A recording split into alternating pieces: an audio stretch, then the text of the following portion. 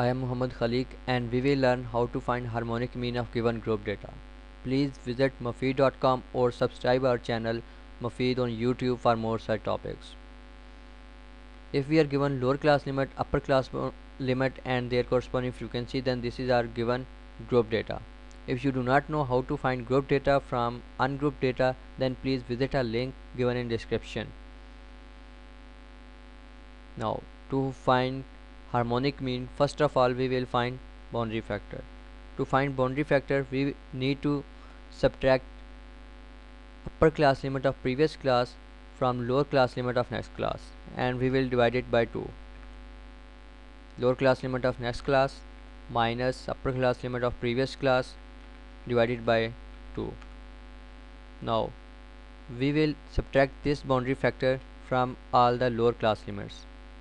Minus 0.5 as 0.5 will be subtracted from all the lower class limits so select it F4 enter.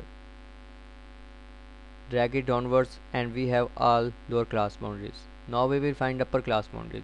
Is equal to upper class limit plus boundary factor as it will remain same.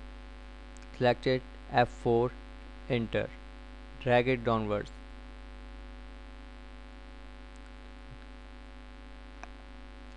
note that uh, we selected D20 and then press F4 to have dollar signs. And these dollar signs make sure that in each row D20 remains D20 here D20 here D20 here D20 okay. Now we will find midpoints. Is equal to midpoint of lower class boundary and upper class boundary. Lower class boundary plus upper class boundary divided by 2 drag downwards we have midpoints of all our lower class boundaries and upper class boundaries.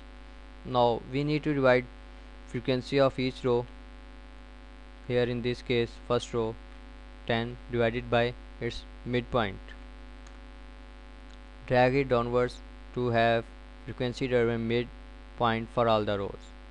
Now we need to find sum of all the frequencies and then sum of all the values which we got by dividing frequency by midpoint.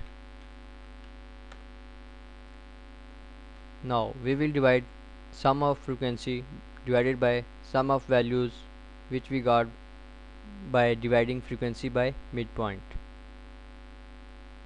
Over here is equal to select the cell which has sum of all the frequencies divided by